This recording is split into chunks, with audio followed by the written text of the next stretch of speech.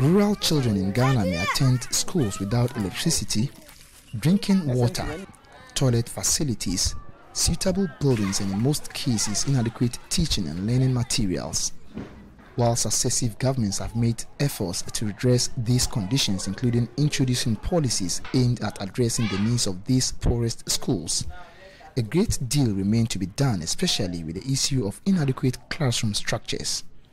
Here in Adutwie, a farming community in the Techiman North District of the Bono East region, these abandoned structures initiated in the year 2016 are left to the mercy of the weather as these pupils and their teachers continue to study under these dilapidated structures. Asari Evans is the chairman of the school's management committee.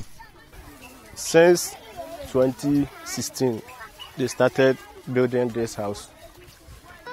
So during the during the 2020 election, they were up to this level. Since then, we haven't seen anybody around here. So this building is causing us many challenges. Asari Evans says the situation is heavily affecting teaching and learning as children at the lower primary level are congested in their classrooms. The infrastructure we have here is less. Due to that, we are facing many challenges. Our little kids are many in the class. So we want government to complete this project for us so that they can be spaced up for them to learn. Amongst the school's most pressing challenges is the fact that the school's feeding program, which used to be a motivating factor keeping most of these pupils in school, is no more in place. As a result, a significant percentage of these pupils are staying away from attending school, thereby affecting enrollment.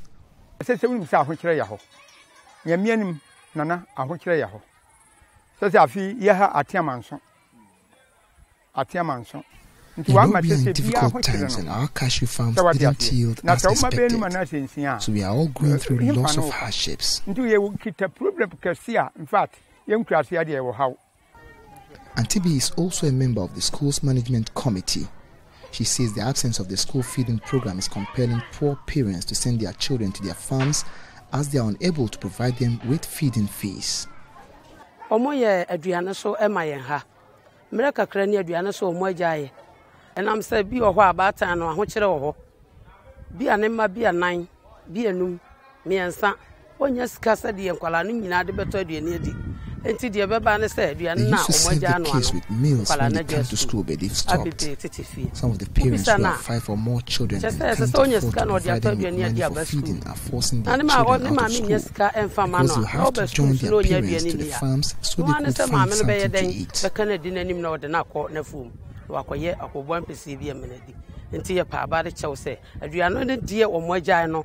Ɛha yɛ paa ɛha yɛ bebree Members of the community want government to swiftly respond to their calls by helping complete this abandoned structure, which, when completed, will also provide accommodation for teachers.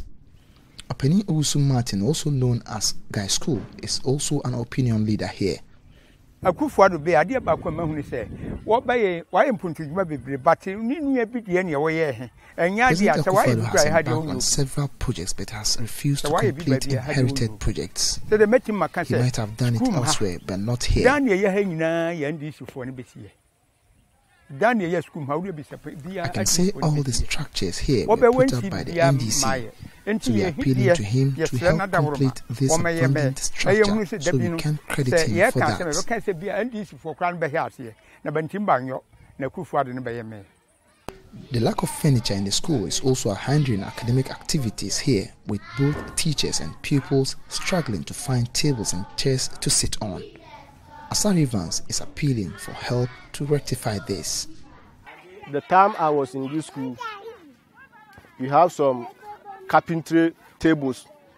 That time we were doing technical. So JJ time, JJ Rawlings time, they brought tho- those uh, tables and chairs we use for practicals.